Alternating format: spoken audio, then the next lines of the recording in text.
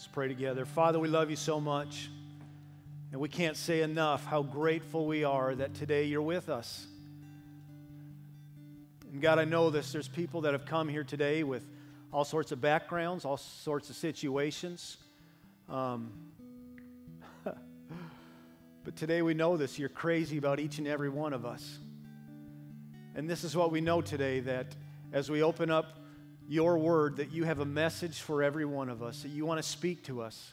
That's crazy to us. With all the things going on in the world today, you want to speak to us today. And so here we are, again, from all backgrounds. We would love to hear from you today. So speak to us, challenge us, convict us, make us more like Jesus. And for that, we'll give you praise. We love you, Jesus. Amen. You may be seated. Well, good morning. How's everybody doing today? Awesome. Hey, listen, are you more comfortable today? You got a little bit. We, uh, we, uh, we had a dilemma these last few weeks.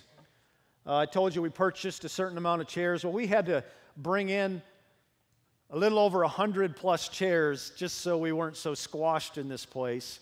And uh, we nearly filled this up. And so uh, you all keep bringing people with you, all right? We'll keep adding chairs. We don't know where we'll find them, but we will find them. Get this. Uh, how many here last week, the baptism service? Uh, we could probably say phenomenal, right? Yeah. Pretty amazing service. Um, I've already had calls this week about people who have made decisions to follow Jesus that want to be baptized next time we have baptisms, which is awesome. Awesome. And so uh, the first Sunday in January, we're going to do it again. We're going to do this as much as we can, uh, just because, listen, if, if people are receiving Jesus and they're going to begin following Jesus, uh, we want to celebrate it in front of everybody. And so if you're here this week and you made a decision last week, which, listen, a lot of you did, get a hold of us. And if you've never been baptized, um, we will get the horse trough up here. It said for livestock only on it. Uh, I'm going to write the company and say you got to change it. For livestock and baptisms only, um, we will uh, baptize you in front of this group. And again, God's just doing some neat things. Uh, this last Sunday, we, we had 564 people that came and worshiped. And we have two services here. If you're new with us, we have a, a service at 9 o'clock that meets over in the sanctuary. And I'm telling you, God is doing some great things in that service. Uh, it just keeps growing and um, and then, of course, here we just have to keep adding more chairs. Isn't it fun to be part of an exciting church? I think so, right? I think so. We're uh, on a series um, about the life of David. It's been a fun series. We've been diving into 1st and 2nd Samuel, uh, just getting some glimpses of David's life. Today, in 2 Samuel 9, if you have your scriptures with you, if not, we'll put it up on the screen. Um, this to me is probably, although it's one of the, it's a very unfamiliar story to people when it comes to David. It's not on the David top five list, but the story we're going to talk about today is my absolute favorite David story because it gives us a glimpse of the character and heart of David again. You see, I'm convinced of this, you guys, that our actions will reveal who or what we serve. Our actions, the things that we do, are going to eventually reveal who or what we serve. And I'm not talking about a Sunday morning. Now, on Sunday morning, it's, it's easy to have actions that reveal who we serve, right? I mean, when the band's playing and they're uh, just rocking out the house to to God. And you know that when, when they play their instruments and they sing, we're not singing to each other, right? We're singing to the good man upstairs. And when we're singing, man, have you ever been so moved that you just want to raise your hand? I know some of you have. And some of you come from more Pentecostal backgrounds. You might get so excited, you might even raise your other hand, you know. But we don't go much further than that, do we? I'm just kidding. But it's easy. Our actions show that, man, we love serving God, don't we? We get excited about serving God. And, and in a service like this, I've seen it where people get so moved, they just stand up and say, I want to tell the whole world that I serve God. I mean, it's fun to be a part of a service like that, isn't it? There's churches all across America that would love to see what's going on here. But I'm not talking about our actions here at church on Sunday. Because again, it's, I think it's easy for us to have actions that show who we serve. But what about Monday through Saturday? I mean, what are your actions? What are the conversations that you have? What are the things that you do? What are the things that you watch? I mean, would your actions, if, if you knew that Jesus was able to follow you around all week, which according to Scripture he does, I mean, if you knew that he was with you all week, would your actions say, Listen, Jesus, I serve you? We're going to dive into the story. Again, it's a, it's a neat story, but before we do, I just want to go off on a little rabbit trail here, real quick, briefly. Speaking of actions, um, what is it with all of you and your tea peeing? I don't understand it. We were having a great family night the other night, and we were sitting. My dog started barking again, which is usually a sign like, oh boy, these wild southern Illinois people are at it again. And I was looking for toilets, and I didn't find any toilets, but my yard was covered in toilet paper. Well, I decided to chase them down this time. I hopped in my truck and I was chasing somebody down, and, and I found out who it was, but there's a whole group of people.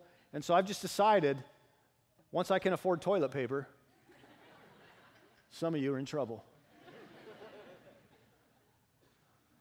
Strange practical jokes here. That's just my rabbit trail. If you have your Bibles, open up to 2 Samuel chapter 9. Keep in mind, at this point, David had been uh, put in the place of the king. Uh, Saul is now dead and gone. We've been talking about this the last few weeks just to try to catch some of you up. Uh, David, who had been running for his life at times, who had these highs, these lows, um, who had all sorts of crazy things, now was, was seated on the throne.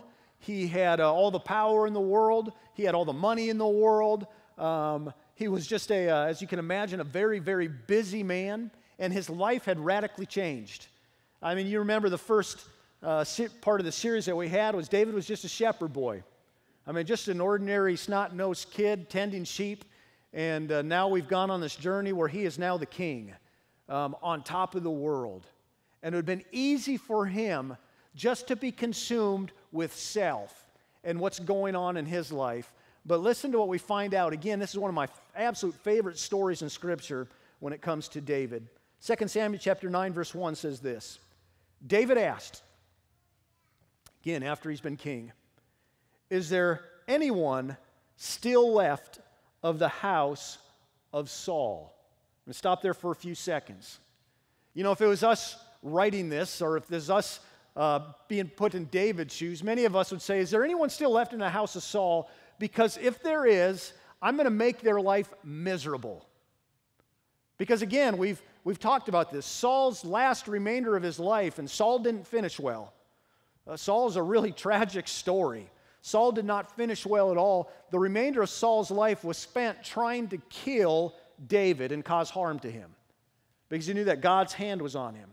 And so here's David. He's saying, Hey, listen, is there anybody left in the house of Saul? And if it's you and I, we would say, because if there is, we want to make this guy's life absolutely miserable because he deserves it. But we find out by David's actions, we know who David served. Listen to how it goes on. Is there anyone still left in the house of Saul to whom I can show, say it with me? Kindness, for Jonathan's sake. It's phenomenal, isn't it? I mean, here was David, who probably had a lot of things going on in his life and, and who probably had a crazy busy schedule and had so many things that he had to take care of, and, and he was on top of the world. And his mind goes back to is there anybody left in Saul's house that I can show kindness to? Well, he brings in one of his servants and he asks him that question. He says, Hey, listen, is there anybody in, in Saul's house that, that I can show this random act of kindness to? And, and the servant said, Well, yes, there's a, a boy. Now, listen, I've been working on this name all week. Uh, I asked Pastor Mark it, and Mark's going to be watching this message here in a little bit. Mark can just say this name like it's nothing. I think it's because he wanted to, if he ever had a boy, he's going to name his boy this. But the boy's name was Mephibosheth. Anybody here ever name their child that? I don't want to offend anybody. Mephibosheth was the child's name. And scripture tells us when they said his name, they followed it up with this Mephibosheth, who had two lame feet. It's very significant. The author of this wanted to make it clear that this boy was crippled. And the reason why he needed to, to all of us to know this was because in that time, especially in a royal family, a boy who was crippled was going to be kind of pushed aside. A boy who was crippled was, was, was not a sign of royalty. In fact, many of them thought it was a sign of weakness in that day and especially in a king's home, they didn't want, want somebody who, who had these ailments out in front. And so, probably this boy sat in his room a lot. He didn't play with all the other kids, he didn't come out in public a lot. He was probably just pushed aside, and I'm guessing we can think he was probably pretty lonely. And David said, Well, I want to talk to this boy. I want you to bring him in because I want to show him kindness. And could you imagine what was going on in this boy's mind? Again, probably his whole life he was just pushed aside probably a nobody, probably very lonely, probably even felt like he was an embarrassment to the family. And the king, David, who his grandfather had been trying to kill, wants him to come into his presence. And so scripture says that Mephibosheth comes in to the king's presence, and it reminds us. It says that he was the son of Jonathan, who was the son of Saul, which again reminds us that if there's any guy who deserved to be punished, many of us would say it'd be him because the family that he came from. And scripture says that he comes and he bows low before the king, probably wondering what in the world is going to happen to me. Probably thinking that this is the end for me because of my grandfather Saul. But listen to what David says in 2 Samuel 9, 7, and 8 It says, Don't be afraid, David said to him, for I will surely show you kindness for the sake of your father Jonathan. I will restore to you all the land that belonged to your grandfather Saul, and you will say it with me always eat at my table. He didn't say you will sometimes eat at my table. He didn't say, hey, listen, let me try to get things cleaned up and we'll try to get everything in order. And, and maybe this next week, if we have time, we'll invite you over.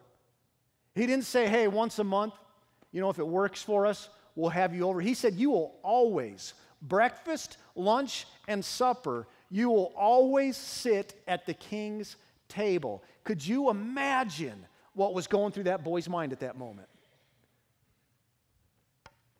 Mephibosheth bowed down and said, What is your servant that you should notice a dead dog like me? That's phenomenal, isn't it?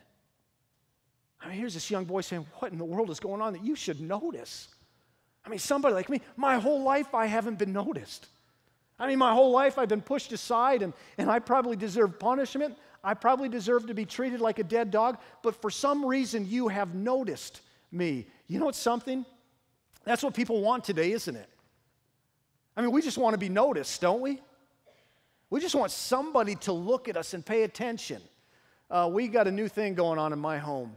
Uh, when my kids were born, I always dreamed that they would be, you know, these professional basketball players, including my daughter. I thought she'd be the first to go to the NBA. You know what my daughter's into right now? Cheerleading. I mean, most of my upbringing, it was all boys in my family. And so this cheerleading is new to me. And my daughter, from the time she's a little girl, she's enjoyed tumbling and doing the splits and doing all this stuff. And, and now it just seems to be working really well for her cheerleading. And, and so she's out there now. We had our first basketball tournament my son was playing in, but we ended up watching my daughter more than my son because she's out there more than my son. I know, I know. So my daughter's out there cheering, you know, and doing her thing, whatever they do. And, you know, and we're watching there, and I, I catch myself getting really excited about it, you know, like, oh, great move, Gabrielle, you know. you know, I'm cheering like crazy. And you know what I notice about her? when she walks out to the center court and does her cheers, every once in a while, you know what she does? She looks up at mom and dad just to see if we're noticing her. And when she's done, she walks back and she keeps glancing up at us. And she has that kind of excited little smile, but she doesn't want to show that she's super excited. But, but inside, she's saying, They noticed me. You know, they saw me. And of course, we're going berserk. Look like crazy people in the crowd. And then my son playing basketball, my, my son gets in about 37 seconds in the game, and man, it's the best 37 seconds of the game, I'm telling you. Unbelievable. And we're watching him, and he's out there playing, and he's, he's running all over the place. And, and my wife's helping me saying, I told you, you got to teach him some stuff. You know, I'm like, well, I don't know anything about this stuff. And, and he's out there running around, throwing his arms around. And, and then finally the coach says, we got to get this kid out of here. You know, he's, he's dominating out there, so we got to pull him out of there, you know. And so my son goes running off the court and he sits down. You know what he does? He sits down. The first thing he does is he looks up at mom and dad because he wants us to notice him. And my kids, I mean, that's all we hear at home. They're at that age where, Dad, look at me, Dad, look at me, Dad, look at me. And I just think, if you guys would all just come together really close, I can look at you all, you know? They want us to notice them. It's a big deal to us, isn't it? And you think you lose that, but you don't. As you get older, I, I can remember as a youth pastor, one of the neat things about the, the church I was a part of when I was a youth pastor is we got all sorts of, of kids in our youth group. In fact, we'd go out to these big church events, and, and all the other churches would say, Oh, yeah, Kramer, he's got the dysfunctional group. And I'd be like, Yes, I do, you know, because they were wild. And I'd have kids come in, and they would, they'd have piercings, and, and uh, you know, I had some that would paint their fingernails black. And even some guys, this was weird to me, they'd like put like some eye makeup on their eyes. And it was always strange to me, but I had good enough relationships too where I could go kind of make fun of them, you know? And they'd be like, well, dude, I just do this so no one would notice me. And I'm just trying to be myself. And I'd be like, that's not true, you know?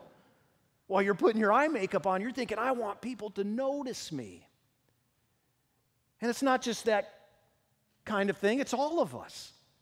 I mean, think about getting ready for church and, and all the things that we do. We wouldn't do all this if we just didn't want people to notice us. And I'm telling you, we got people all around us that just are looking for somebody to notice them. But here's what's neat about all of this. In the story that we just began to read about, David was looking for a person in need. And so here was somebody that was just hoping somebody would notice him, and David was out looking for somebody in need. I wonder sometimes do we look for people who are in need? I mean, we want people to notice us. But do we ever say, you know what, I'm going to on purpose go out and I'm going to look for somebody in need? I found the stat on the internet, and of course, what we find on the internet is always true. Four out of 10 people, get this, you guys, four out of 10 people experience extreme loneliness. Isn't that something? With all the things going on in the world today and how we can keep ourselves so busy in fact, if we just took this crowd today, I mean, if this stat is correct, four out of 10 of us will experience extreme loneliness. And teenagers, I'm going to pick on you here.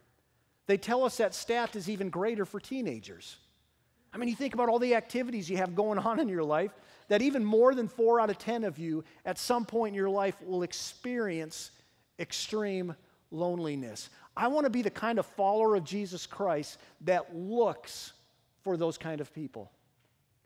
I told you when I moved here a few months ago, um, something radically changed my life.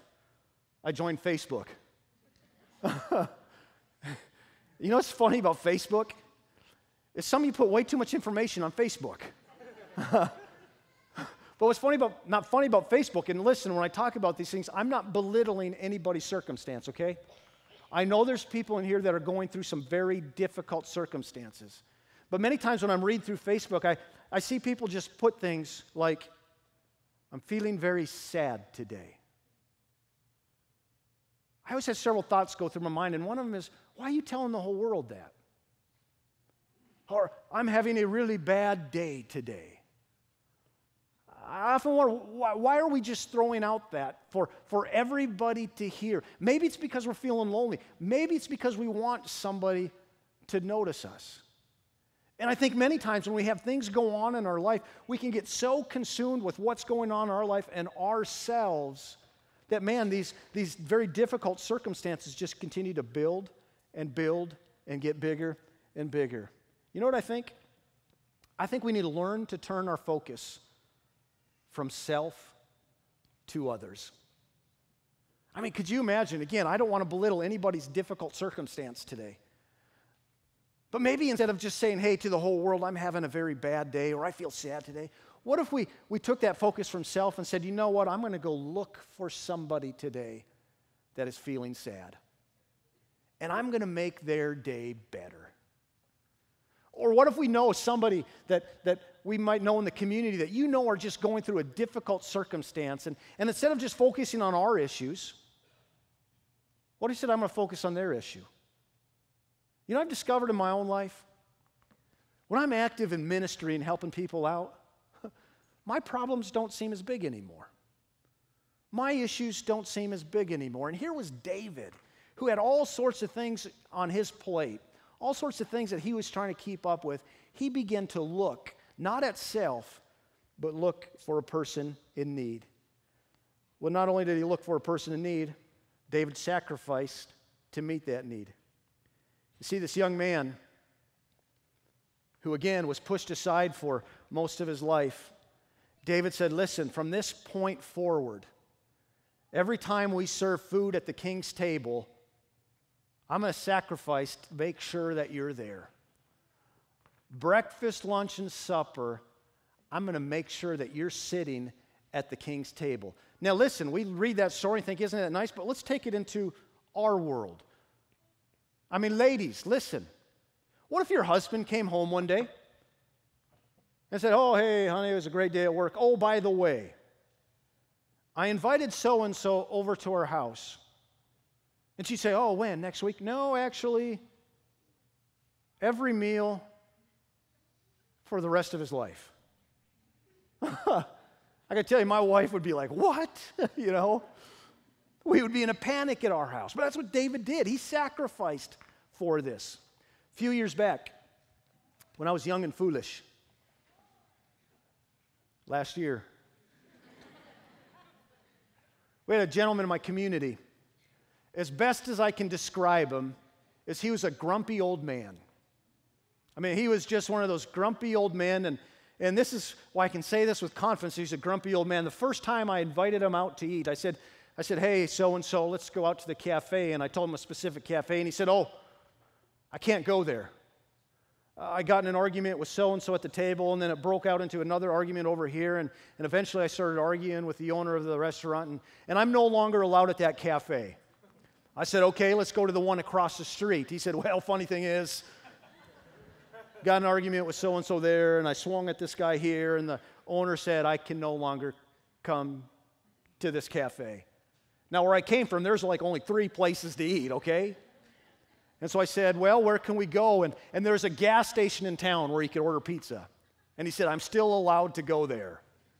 So I went out, and, and as I began to talk to this guy, I discovered this guy was just lonely. I mean, he had no family, and, and he just had a lot of anger built up inside of him, and nobody wanted to be around him, and it was very understandable why. I mean, he's just a grumpy old man. And, and so I went out to eat this guy, and I said, Hey, listen, this Sunday, come to church and, and after church, we'll, we'll grill some steaks and you can come on over to my house. Well, he was excited to do that. I mean, he's telling everybody around town that he was going to Mike Kramer's house, you know, and it was, it was a big deal, and I felt good about that. But, but then something just blindsided me. You know what that Sunday was? I didn't see it coming. It was Mother's Day. Yeah, I know. My wife never warned me about it. I mean, who am I? I mean, it was Mother's Day. And so I can remember, you know, I come to church and it's Mother's Day, and, you know, I'm in my office, you know, working on a card, you know, and, and this guy comes in, he's like, Oh, I'm excited to come to your house today. I'm like, Oh no, you know. And I'll never forget that Mother's Day. Me and this grumpy old man sat around a table with my kids, my beautiful wife. We celebrated Mother's Day together, you know. But this is what's crazy about my wife. She gives me a hard time for it still today.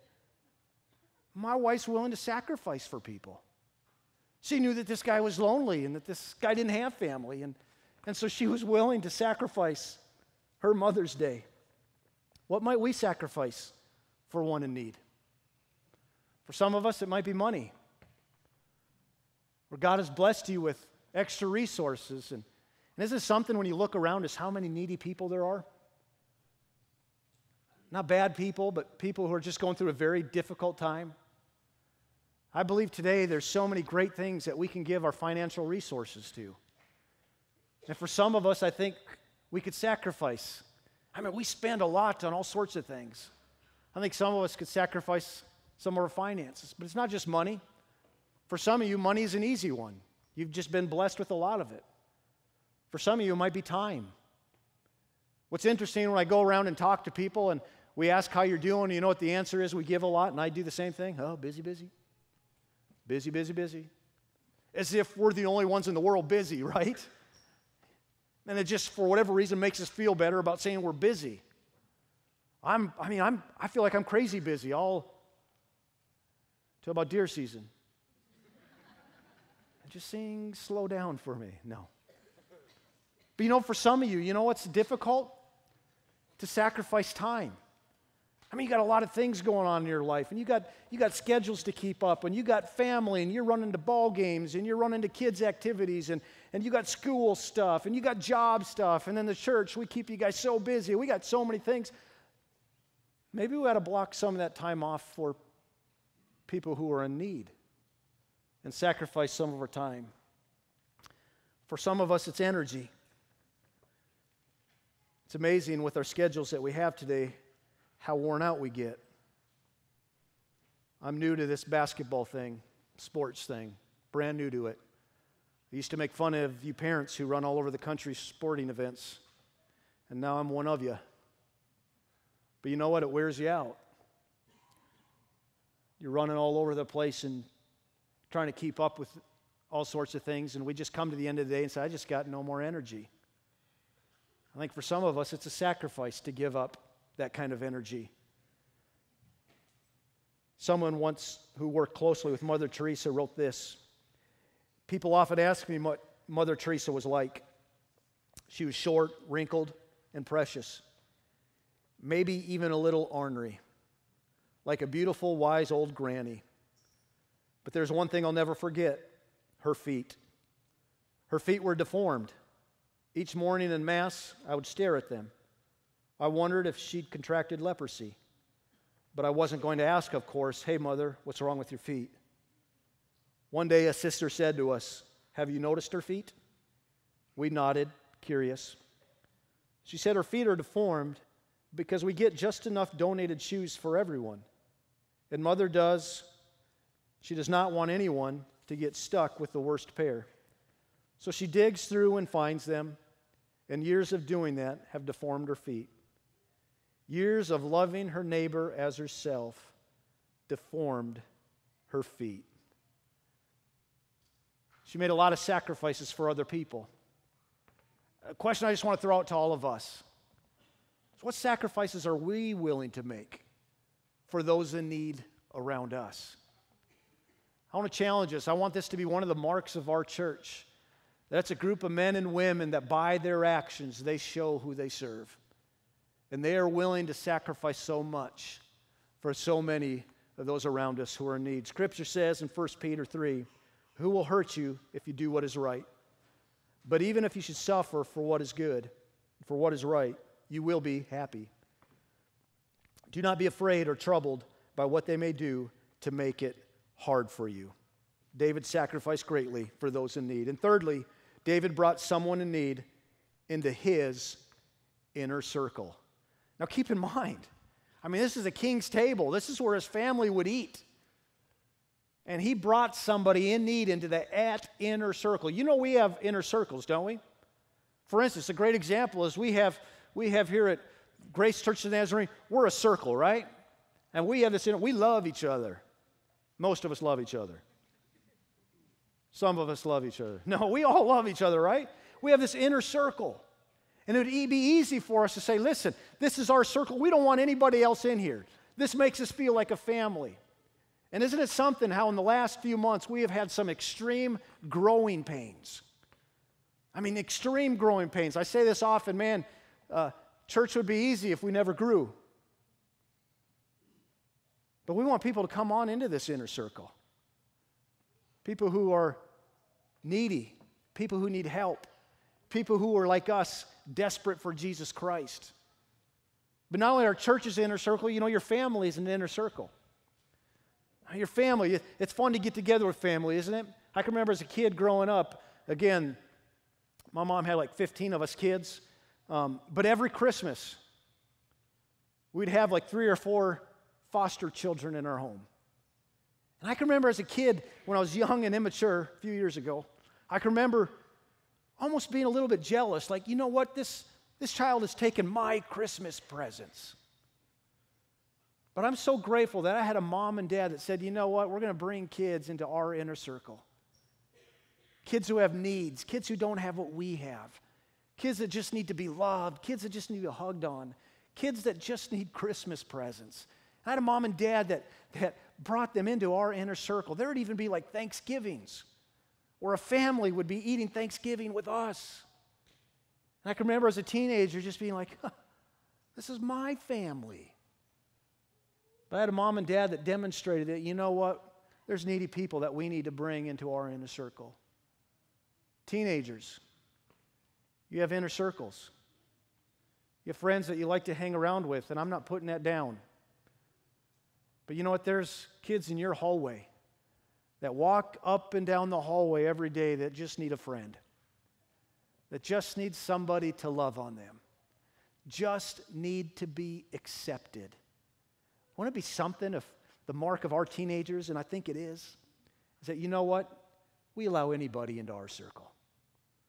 If we see somebody that's lonely and hurting, we're going to let them in.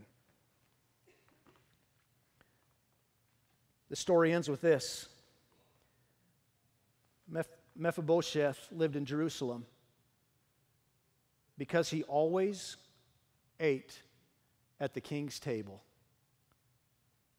And just in case we forgot, the author wanted us to know he was lame in both feet. My challenge for us as a church we got people all around us that are in need people that are lonely, people that are hurting, people that don't have as much as we do. Are we looking for them? Are our eyes open? Are we on purpose not saying, hey, notice me, notice me, look at me? Are we on purpose out looking for them? And then, if we are, what sacrifices are we willing to make for them? And who this week can we bring into our inner circle? I have at the end of your notes there a place where you can talk about it. I encourage you to go home today and grab your family and talk about this. Go through these questions. I'm convinced of this. God bless David for living this kind of life. I believe God will bless us if we do the same. I'd like our worship team to come on up. Just for a few seconds, just nobody looking around, everybody bow their heads, close their eyes. Nobody looking around. How many of you would you say, even as I'm sharing this with you today, would, would you be willing to say, just by lifting quickly up your hand, would you say, you know what? A name and face came to my mind even as you were talking about this, just real quick. Yeah, all over this place. All over this place. Why don't this week, why don't we do something about it? Wouldn't that be something?